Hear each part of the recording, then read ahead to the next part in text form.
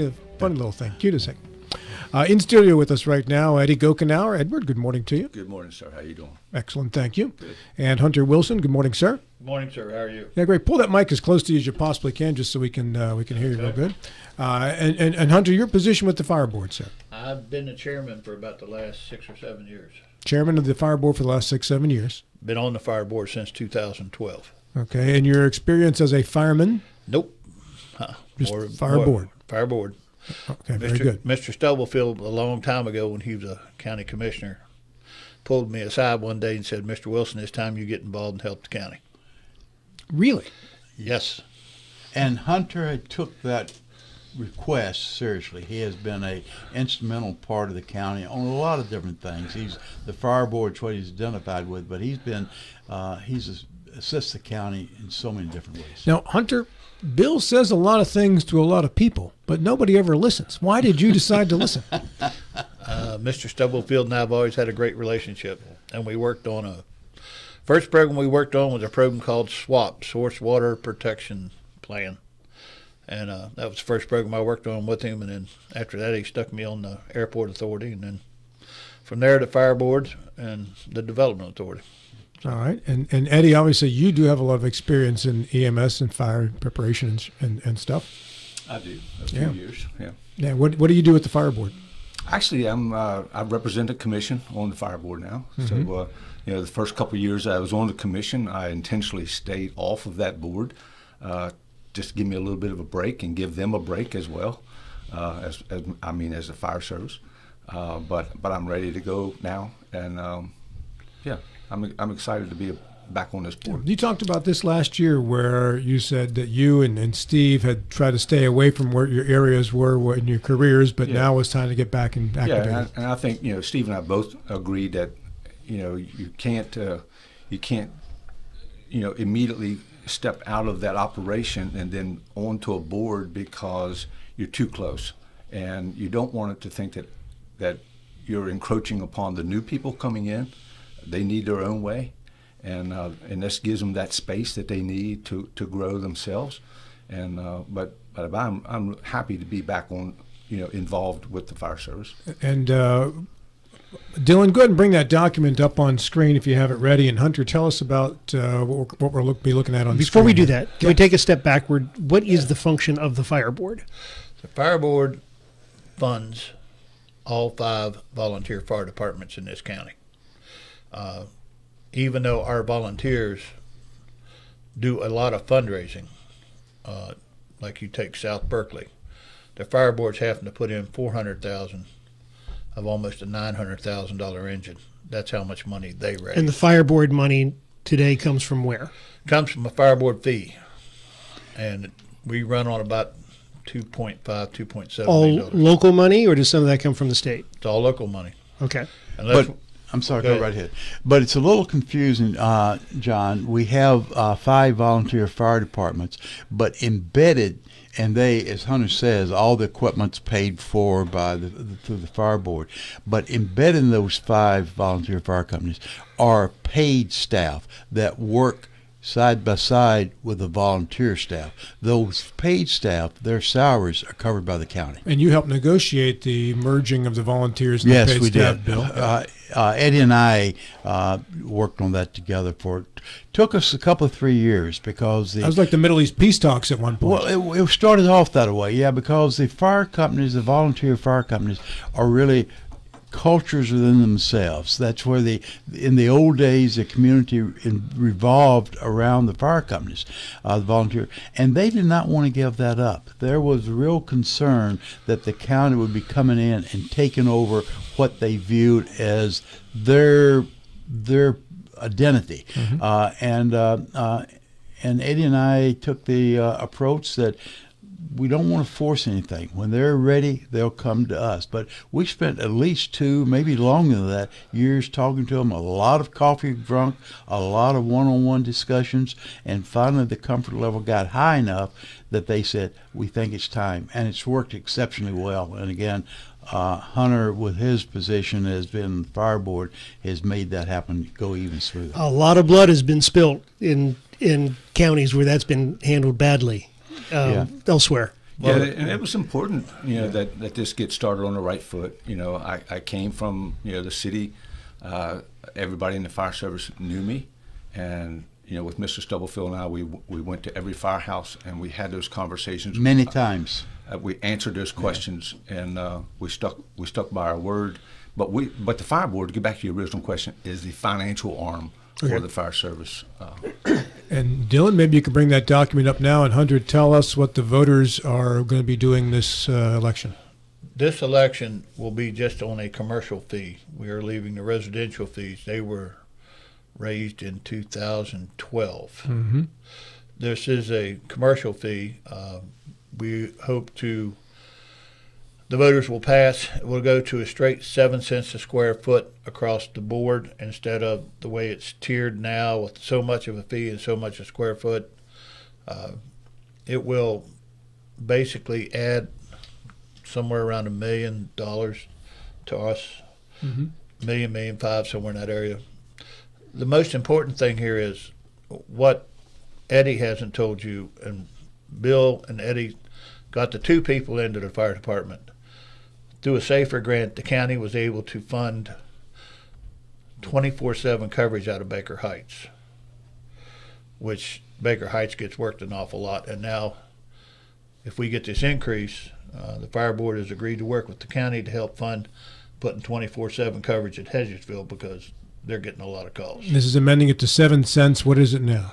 Uh, it varies on different ones of them right now. Uh, it's a flat fee and three or four cents a square foot. Some of the smaller commercial businesses will probably get a little bit of a break. Some of the larger businesses, it'll be a pretty substantial increase. Okay. So when I'm looking at this chart and it says zero to 2,500 square feet, $95, that's what the person is currently paying. Yeah. And, and do we know how much the increase would mean they would pay now? You'd have to, I'd have to run the number up for you, It would just be seven cents times 2,500 square feet, for or a instance. thousand square feet or whatever it might Simple, be. simple math. Anything over 100,000 is three cents. Not, right not, now, not then it would go to seven. but it would, then it would more than double to seven cents. Yeah. Okay. And this will generate how much additional revenue for you? About a million five. And you'll do what with that money? Uh, most of our fleet is coming up on our average age of our fleet is 2007. Most of our fleet is coming up on 20 years of age, uh, which we need, according to NAFTA, we should be replacing equipment. But we are also committed to helping the county fund more paid staff for 24 7 coverage because we just, Baker Heights is running the wheels off their equipment and we need another station with 24/7 coverage. It's it's a big thing, and right now the paid staff and the volunteers work together with using each other's equipment and everything else like that. But the fire board uh, is responsible for buying like the air packs. Those are due in 2032. Last time we got a grant. In 2032, it's going to cost us about 1.8 million dollars to replace them. Things like that radios will probably be they're due in about 10 years. So that's about another six seven hundred thousand dollars. And we set up funds to save money for all this stuff. We have increased our stations uh, south berkeley baker heights hedgesville all now have the capability of 24-7 coverage. Because we have bunks we have kitchens we have uh, we have generators that if we ever had a major summer storm our first responders could get in there and be cool and get a meal because we got commercial kitchens in these places. Mm-hmm. So this we're building for the future. Eddie and myself and some others said, all right, let's try to build these stations to last next 40 years. And if, if uh, this vote uh, goes through, does it need 50% plus one, or does it need two thirds, or just a just a majority, simple majority? simple majority vote. All right, Mr. Gilstrap, you spent uh, a great deal of your career as a volunteer firefighter and an EMS worker.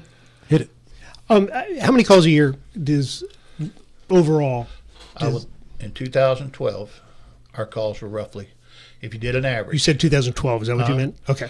2012, our calls were roughly 600 calls per y- per station per year. In 2023, it was over 800 calls per station per year. And that's just fire. We're not talking EMS here. at That's all? that's fire, EMS, collision. That's everything that our people run on. Now the ambulance increase has cut our EMS calls down considerably, but we run a lot of collision. The interstate. I joke thinking, you know, DOH should have built us a station out on the interstate because we spent so much time out on that interstate chasing wrecks and fires, and we do have to help with EMS once in a while. So does the paid staff that we're hiring, does that, do they cover EMS as well? Do they run ambulances or is that No, just they fire? do not, just fire. Just Okay. fire, And they assist with EMS. Um, the other thing is, it's, it's, I think is notable, out of that fire fee that's currently there, we're, we're maintaining uh, 25 pieces of heavy equipment, and that's from an engine to a squad to a tanker, uh, 25 pieces, and uh, taking care of nine different facilities. So those those things aren't cheap. You know. How And, uh, much is just a- one more, and- and that- sorry, just- sorry, go ahead. When, what is a commercial space? What, what defines a commercial space as opposed to a not commercial space? Any Well- place, I, I run a business out of my home, I write books, am I a commercial space or am I It's a residential. That's residential. Residential. So when does a commercial space become a commercial space? I guess when you don't sleep there. Okay, that's fine. How's that? All right, The commercial space is identified by the county assessor. okay. Bill, How much is a, a an engine how, for replacement? How much co- would it cost? Uh, South Berkeley's buying one right now. It, you know, it'll take a couple of years to get it built, but we committed money to them. It's over nine hundred thousand dollars, and it's not. It's a identical twin to what engine twenty two. 22. Yeah. It's just it's a fire truck. There's not even a whole lot of bells and whistles on it. It's a fire truck. How many uh, ladder trucks do we have in the county? We currently have four. Four. Yeah, that, that includes the VA Center and the City of Martinsburg, uh, Tower 40, which is out of Bedington, and Truck 30s in Hedgesville. Well, that's interesting. Is there a federal fire department at the VA center? Yes, sir. Okay, and is that, do they run mutual aid with us? They absolutely do. Okay. Yes, sir. And so does the Air Guard. Yep. And are they, are they part of the box assignments for Yes. residential or whatever? Yes. Okay. Uh-huh. The increase people are voting on, is that strictly commercial and not residential? Yes, sir. It is strictly a commercial. And it does not include support for the Air Guard or VA. This No, is sir. this No. the This is- county-run This volunteers. is just for the, yeah. the five departments that are in the county. And people, if you're looking at this and you, you would like this to go through, you should vote yes. The way this is worded, it would, it would indicate you should vote yes. Yes, sir. Sometimes these things don't look like they should when you go to read them. I think this was pretty straightforward. Yes, it simple. is. It is. But we're looking for the county support. The volunteers have done remarkable work.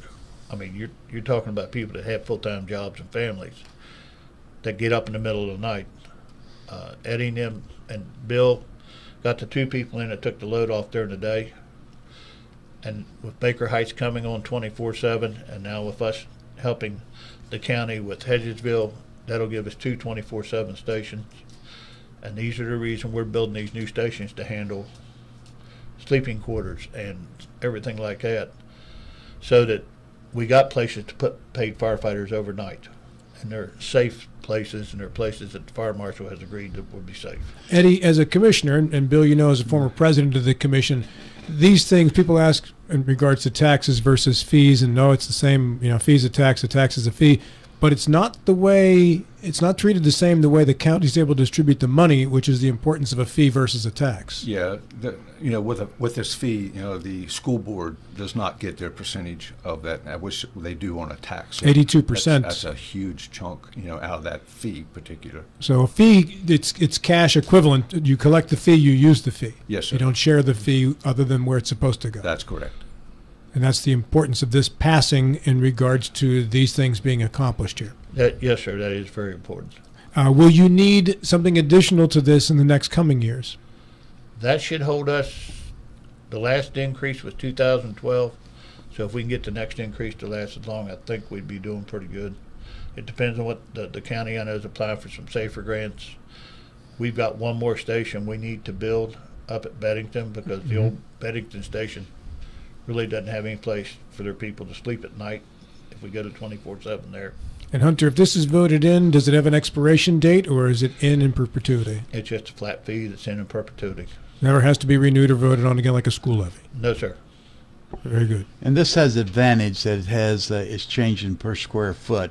Uh, the first time we put through, we did have tiers because it was the first it was the first opportunity, the first time that we were actually asked folks to uh, uh, pay a fee to support the uh, the fire, and it, we had a lot of trouble trying to push it through the commercial side so it would appear fair and balanced, and that's why you had certain tiers. there. And it again that took a lot of negotiation. We talk, worked with a lot of the commercial folks, and finally they accepted the fact our county has grown so much. Everyone everyone acknowledges the fact that we've got to put more resources in both the fire and the ambulance side. The model that served us so well for 100 years uh, no longer works with this growth. And uh, so the uh, both the commercial and the residential side, I think, appreciate the fact of what we're having to do, and they're willing to pay.